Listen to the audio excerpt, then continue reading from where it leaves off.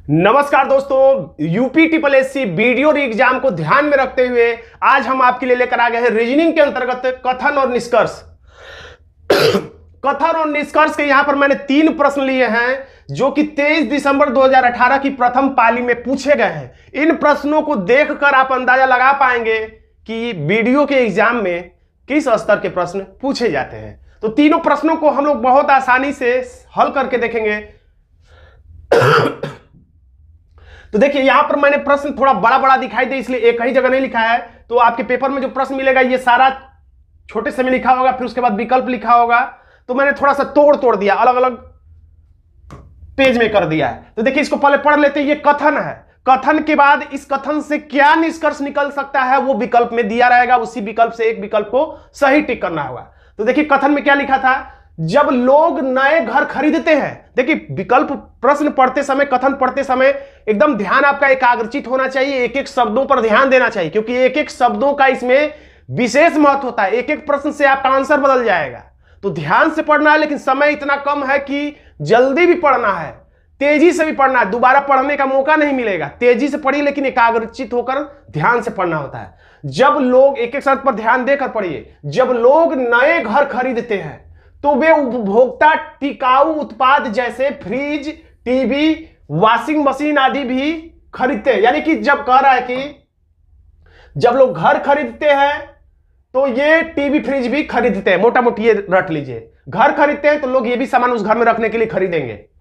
नए फ्लैटों की बिक्री, जो नया फ्लैट, ये तो घर खरीदने के लिए हो गया। आप कह रहा कि नए फ्लैटों की बिक्री जो है होम लोन ब्याज दरों पर निर्भर करती है। यानी होम लोन का जो ब्याज दर हो, है, वो ज़्यादा रहेगा तो यानी कम घर खरीदे जाएँगे, और ब्याज दर कम रहेगा तो ज़्यादा घर खरीदे जाएँगे। यानी कह रहा है कि होम जो फ्लैटों की बिक्री है, होम लोन के ब्याज दरों पर निर्भर करती है। तो सामान्य सी बात है, ब्याज कम रहेगा तो लोग आसानी से घर ज़्यादा खरीदेंगे।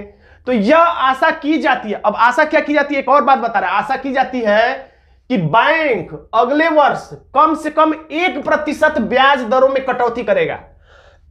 यानी 10 परसेंट ब्याज लगता है तो अगले साल 9 परसेंट लगेगा ब्याज। यानी कि घर खरीदने वालों की बल्ले बल्ले होने वाली है अगले साल। यानी कि कहने का मतलब यहीं से हमें अंदाज़ा मिल गया, यानी कि अगले साल फ्लैट ज़्यादा बिकेंगे। तो जब फ्लैट ज़्यादा बिकेंगे तो फ्लैट में रखने के लिए टीवी, फ्रिज भी ज़्यादा बिकेंगे। तो पढ़ते समय ही यह बात आपके दिमाग में आ जानी चाहिए, जो कि एक बड़ी कमी है। एक परसेंट भी बहुत महत्व रखता है, बहुत बड़ी कमी है। ये बहुत बड़ी कमी, एक परसेंट भी बहुत महत्व रखता है। उपयुक्त में से कौन सा निष्कर्ष निकाला जा सकता है। इसी के नीचे आपको, आपके लिए ये विकल्प लिखे होंगे। तो विकल्प अलग अलग दिखाई दे, इसलिए मैंने अलग अलग कलर में लिख लिया ताकि एक जैसा ना दिखाई दे। विकल्प ए बी सी डी है। अब ध्यान से एक एक विकल्प को पढ़िए और एलिमिनेट करते जाइए। तीन विकल्प हटा देंगे तो चौथा आपका आंसर होगा। उपयुक्त यानी जो ऊपर कथन लिखा गया था उपयुक्त टिकाऊ उत्पाद कंपनियों को अपनी बिक्री बढ़ावा देने के लिए भारी छूट देनी होगी। तो भारी छूट देने से बिक्री बढ़ेगा कि घटेगा? ऐसा कुछ कथन में नहीं लिखा है तो अपने मन से भी हम लोग नहीं निकालेंगे कि कंपनियों को क्या करना चाहिए, क्या नहीं करना चाहिए, इसकी यहाँ पे बात नहीं की गई थी। जो बात किया गया है, उससे क्या निष्कर्ष निकलेगा, यही बताना है। भारत को अपने, भारत को उपभोक्ता टिकाऊ वस्तुओं के अधिक बहुराष्ट्रीय ब्रांडों को आकर्षित करने की सरकार विदेशी निवेश मापदंडों में राहत देगी। तो विदेशी मानदंडों में राहत देगी कि नहीं देगी, इसका भी ज़िक्र नहीं है बहुराष्ट्रीय कंपनियों का भी ज़िक्र नहीं। तो ये भी नहीं सही है।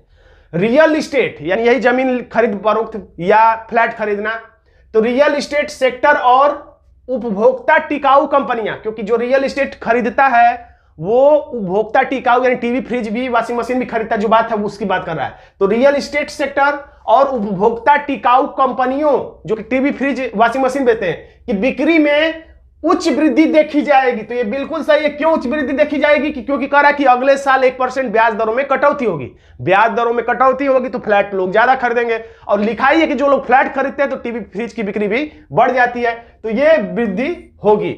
डी को भी देख लेते हैं। शॉपिंग मॉल का तो कोई ज़िक्र ही नहीं है। शॉपिंग मॉल में बिक्री की तुलना में ई कॉमर्स का भी कोई ज़िक्र नहीं। तो ऐसे ही काट दीजिए, हमारा आंसर हो गया सी। देखिए, आंसर ऐसे ही प्रश्न आपका पूरा लिखा रहेगा। ये देखिए, कथन है।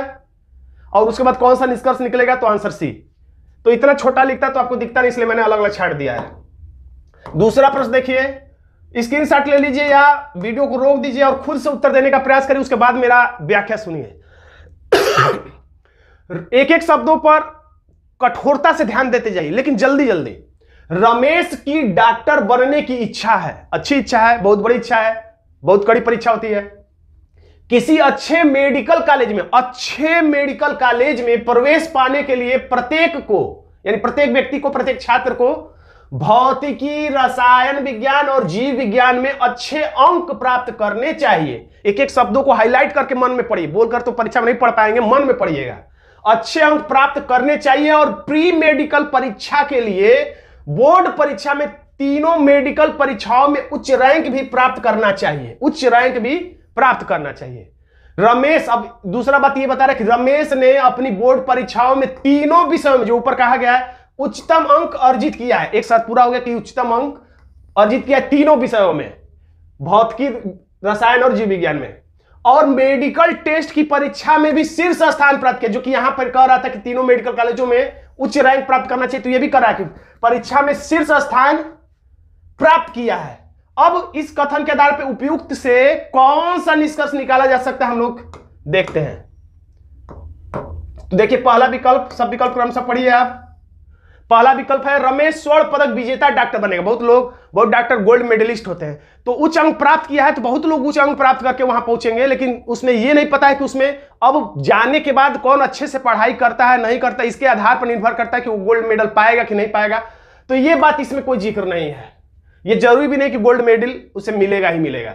रमेश डॉक्टर बन जाएँगे और अपना स्वयं का बहुराष्ट्रीय, अब डॉक्टर तो बन जाएँगे, लेकिन बहु विशेषता अस्पताल खोलेंगे कि सरकारी हॉस्पिटल के डॉक्टर बनेंगे, ये भी ज़िक्र कुछ इस कथन के आधार पर तो नहीं किया जा सकता। है तो दूसरा विकल्प भी कट गया है। अब सी देखते हैं। रमेश आसानी से अपनी पसंद के किसी मेडिकल कॉलेज में प्रवेश प्राप्त कर लिया बिल्कुल सही है, क्योंकि उसने उच्च रैंक प्राप्त कर लिया है, तीनों विषयों में भी।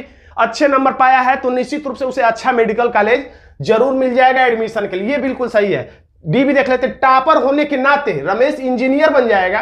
टॉपर है, डॉक्टरी में तो इंजीनियर क्यों बनेगा? तो ये तो बिल्कुल गलत है। हमारा आंसर फिर से हो जाता है सी सही। तो ऐसे ही पूरा प्रश्न आपके लिखा रहेगा। एक, तीसरा और अंतिम प्रश्न देखते हैं हम लोग। फिर से वीडियो को रोक दीजिए खुद से उत्तर देने का प्रयास करिए। अक्टूबर महीनों में मोटरसाइकिलों की बिक्री इस बात पर निर्भर करती है। देखिए अक्टूबर, यानी ठंडी का मौसम। अक्टूबर महीनों में जून, जुलाई बीता रहता बरसात का मौसम। अक्टूबर महीनों में मोटरसाइकिलों की बिक्री इस बात पर निर्भर करती है कि पिछले कुछ महीनों, यानी इससे पीछे के कुछ महीने, यानी जून, जुलाई, अगस्त, सितंबर, जो भी होगा, मानसून कैसा रहा है? मानसून, देखिए, भारत में मानसून अच्छा रहता है तो कृषक जो होते हैं, अच्छी खेती करते हैं, अच्छी खेती करते हैं तो उनके पास पैसा ज़्यादा आता है, पैसा ज़्यादा अच्छा आता है तो मार्केट में वो आते हैं और अपनी खरीदारी अच्छे तरीके से करते हैं।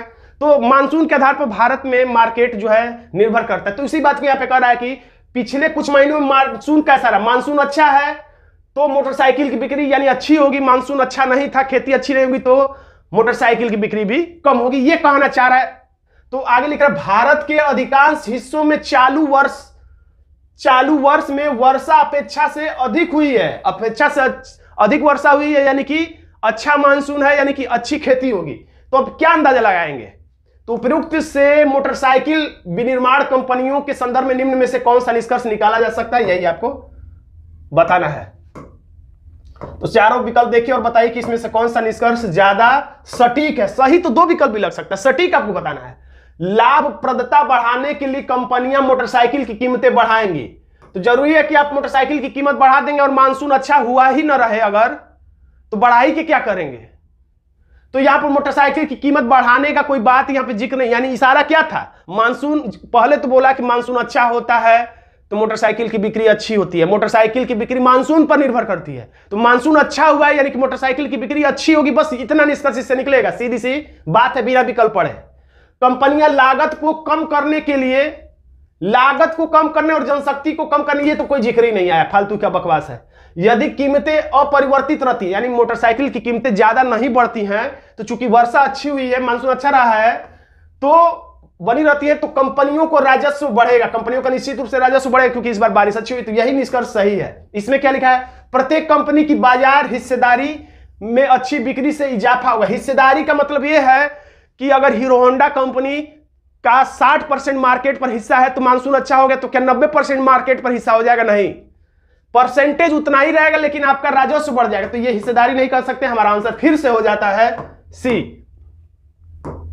दोस्तों, अगर आप हमसे पेड रीजनिंग कोर्स से जुड़ना चाहते हैं तो ये है व्हाट्सअप नंबर इस पर आप हमसे संपर्क करके पूरे वीडियो का रीजनिंग जो है वीडियो परीक्षा का रीजनिंग है, आप हमसे विधिवत विस्तार पूर्वक सटीक तरीके से पेन फ्री रीजनिंग टिक सीख सकते हैं। खैर, आज का वीडियो आपको कैसा लगा कमेंट बॉक्स में ज़रूर लिखिएगा। वीडियो अच्छा लगा तो वीडियो को लाइक कर दीजिएगा, इसे अपने दोस्तों में व्हाट्सएप ग्रुप में शेयर कर दीजिएगा और चैनल पर नया है तो वीडियो एग्ज़ाम की तैयारी के लिए इस वीडियो को, इस चैनल को सब्सक्राइब ज़रूर कर दीजिएगा। धन्यवाद दोस्तों।